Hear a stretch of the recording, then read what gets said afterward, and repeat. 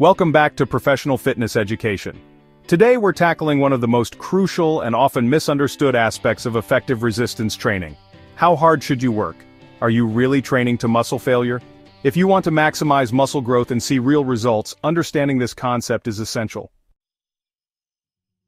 Perhaps the most frequently asked question is, how many reps should I do? The simple answer?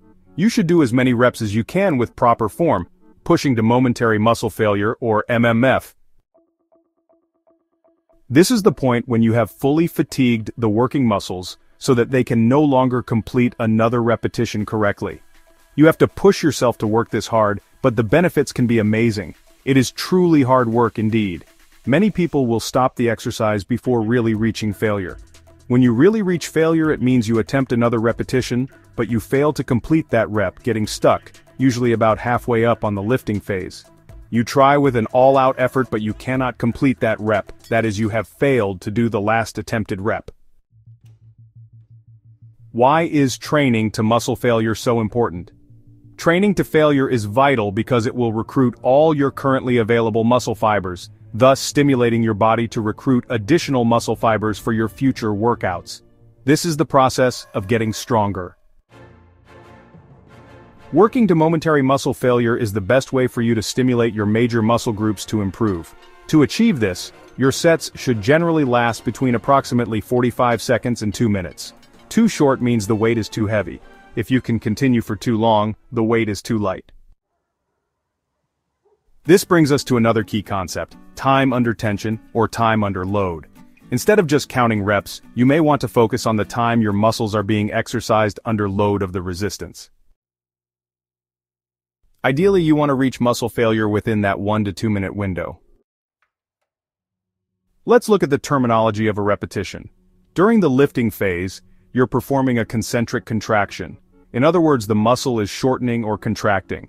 The lowering phase is the eccentric contraction when the muscle is lengthening back down to a stretched position. Both phases of the movement are crucial for muscle growth. Keep in mind that the eccentric phase, the lowering of the weight, is considered to be very important. So lower the weight slowly. Now many people train using a common 8 to 12 rep range.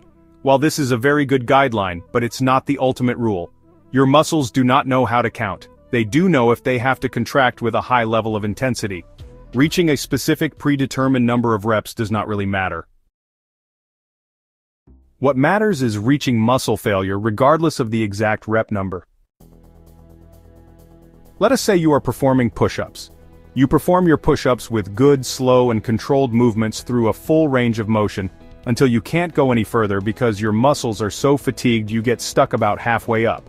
That's concentric momentary muscle failure, then you slowly lower yourself back down to the floor maximizing fatigue, you are done. To track your progress, you can pay attention to time under load or have a goal of reps, such as 12 or 15 reps. If you can perform more strict reps or continue for a longer amount of time, you are getting stronger. When you can consistently reach your goal, either reps or time, consider increasing your weight by a small percentage for the next workout. Use a relatively small increase, such as 5 to 10%. This is progressive overload training, using more resistance or more reps as you progress. This approach is what makes high-intensity training, or HIT, so incredibly effective. Because you're pushing to muscle failure, your workouts will be hard, but they should be shorter and less frequent, which is perfect for busy schedules. Remember, it's not about arbitrary rep numbers, such as being told simply to do 3 sets of 10 reps, it's about pushing to full muscle fatigue, muscle failure with proper form. This will lead to optimal muscle growth and strength gains. If you're looking for real workout effectiveness, focus on training with high intensity and working to momentary muscle failure. For more professional fitness education and exercise information, subscribe to our channel and check the description for some very valuable resources.